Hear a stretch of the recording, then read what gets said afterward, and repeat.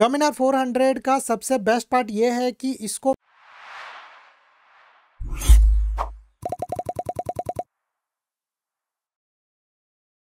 नमस्ते दोस्तों and welcome to our channel कैसे आप लोग? हैं आज इस वीडियो में मैं आप लोगों के साथ शेयर करने वाला हूँ कि क्या आप लोगों को डोमिनार 400 का 2022 वाला मॉडल लेना चाहिए कि नहीं लेना चाहिए? As a Dominar 400 owner experience में आप लोगों के साथ शेयर करने वाला हूँ ये। एंड मेरे पास डोमिनार 400 का 2019 का मॉडल है, जिसको मैंने ट्वेंटी किलोमीटर से ज़्यादा चलाया है सिटी पर चला है हाईवे में चला है, खराब रस्ते के ऊपर मैंने चलाया है। And based on my experience मैं आप लोगों के साथ ये चीज़ शेयर करने वाला हूँ कि क्या आप लोगों को डोमिनार फोर 2022 का मॉडल लेना चाहिए कि नहीं लेना चाहिए? अभी मैं आप लोगों को पहले शॉर्ट में आंसर दे देता हूँ। जिन लोगों को ये वीडियो ज़्यादा लंबा तक नहीं देखना है, जिन लोगों को ये एक्सप्लेनेशन चाहिए कि क्यों लेना चाहिए तो वो लोग ये वीडियो पूरा पूरा देख सकते हैं। फ़िलहाल मैं आप लोगों को शॉर्ट में आंसर देख सकता हूँ कि अगर आप लोग एक टूरिंग के लिए बाइक देख रहे हो सो डेफिनेटली मैं आप लोगों को बोलूँगा you can go for it and it's still worth of buying अब मैं ऐसा क्यों बोल रहा हूँ? मैं आप लोगों को एक्सप्लेन कर देता हूँ कि पहला आप लोगों को क्या चाहिए? हाईवे के ऊपर एक अच्छा स्पीड जिसके ऊपर आप बाइक भगा के जितना भी डिस्टेंस है, आप जल्दी से कवर कर पाओ। सो डेफिनेटली डोमिनार 400 ये चीज़ कर सकता है। डोमिनार 400 का इंजन काफ़ी अच्छा है, specially for long tour. Power and pickup काफ़ी अच्छा है, जो कि आप लोगों को हेल्प करेगा ट्रिपल डिजिट स्पीड में चलाने के लिए and even without a sweat. मैं ये चीज़ शेयर कर रहा हूँ मेरे एक्सपीरियंस के बेस पे, क्योंकि जब मैं यहाँ से गया था स्टेच्यू ऑफ़ यूनिटी के राइड पर, तब मैंने डोमिनार 400 के ऊपर स्ट्रेट 200 किलोमीटर से ज़्यादा राइड किया था, वो भी कंटिन्यू 110 से लेके 130 किलोमीटर पर आवर तक की स्पीड पर। 200 किलोमीटर से ज़्यादा भी बाइक चल जाता, बट ये चीज़ था कि आगे कोई पेट्रोल पंप नहीं था, इसीलिए मैंने थोड़ा सा पहले ब्रेक ले लिया पेट्रोल रिफ्यूलिंग के लिए। अब मैं आप लोगों को ये एक और चीज़ बता देता हूँ कि डोमिनार 400 का 2022 वाला मॉडल लेना सही ऑप्शन क्यों है?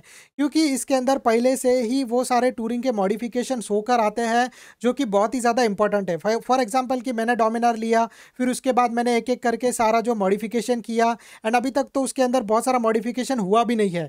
सो मैं आप लोगों को ये बोलूँगा कि आप लोगों को डायरेक्टली ये जो बाइक मिल रहा है वो रेडी फॉर टूर है। आपको बस लेना है एंड जब भी आप लोगों का मर्ज़ी हो, आप टूरिंग के लिए निकल सकते हो। बेस्ड ऑन माई एक्सपीरियंस मैं आप लोगों के साथ शेयर करता हूँ कि जितना भी इंपॉर्टेंट होना चाहिए मॉडिफिकेशन बाइक के अंदर, वो सारा मॉडिफिकेशन पहले से ही डोमिनार फोर हंड्रेड के मॉडल के अंदर करके आता है।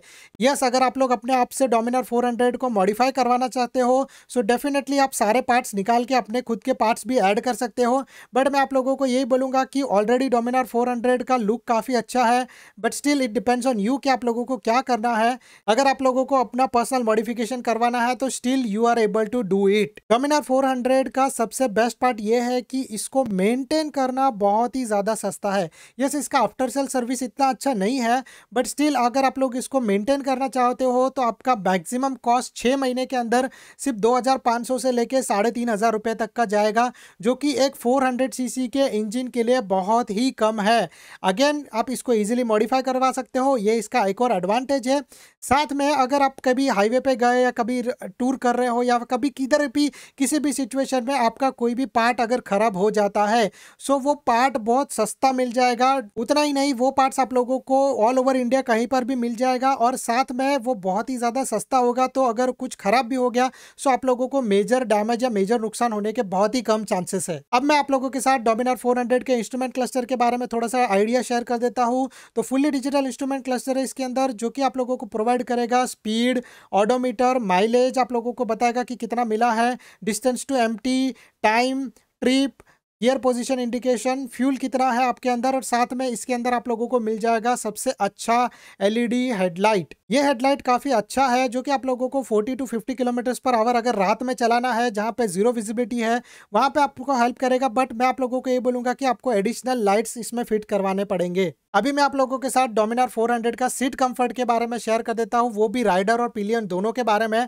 सो पहला चीज़ तो मैं आप लोगों को ये बोलूँगा कि पिलियन के लिए सीट बहुत ही ज़्यादा अनकंफर्टेबल है specially one sided pillion like मेरी मॉम को उस पर बैठना पसंद नहीं है क्योंकि सीट थोड़ा सा हार्ड है एंड साथ में अगर आप लोग अपने वाइफ को भी लेके जाओगे तो थोड़ा सा अनकंफर्टेबल फील होता है। राइडर सीट के बारे में बात करते हैं तो राइडर सीट का कंफर्ट अच्छा है। Not one hundred out of one hundred मैं आप लोगों को बोलूँगा बट पचास पचास है फिफ्टी फिफ्टी है ओके ओके है।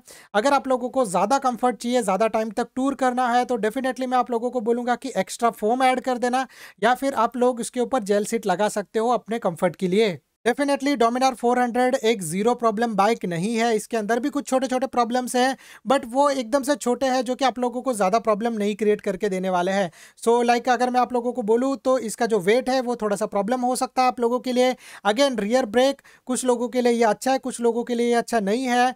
बाकी इसके अलावा कोई भी तरीके का प्रॉब्लम नहीं है। साथ में यस इंजिन में वाइब्रेशन है थोड़े से और साथ में एक और चीज़ की इसके बोल्ट थोड़े टाइम बाद लूज हो जाते हैं जो कि इंजिन वाइब्रेशन के वजह से है। And that's it from my side अगर आप लोगों को ये वीडियो पसंद आए तो please do like and subscribe to our channel अगर आप लोगों को डोमिनार 400 के रिगार्डिंग कोई भी डाउट है तो आप लोग नीचे कमेंट कर देना। साथ में डोमिनार 400 पे किए गए मेरे व्लॉग्स को अगर आप लोग देखना चाहते हो तो वो आप लोगों को मेरे दूसरे चैनल पर दिखेंगे। उसका नाम है प्रकाश पंचाल। लिंक आपको नीचे डिस्क्रिप्शन के अंदर मिल जाएगा। Thank you so much guys for watching and Baba and congratulation for your new bike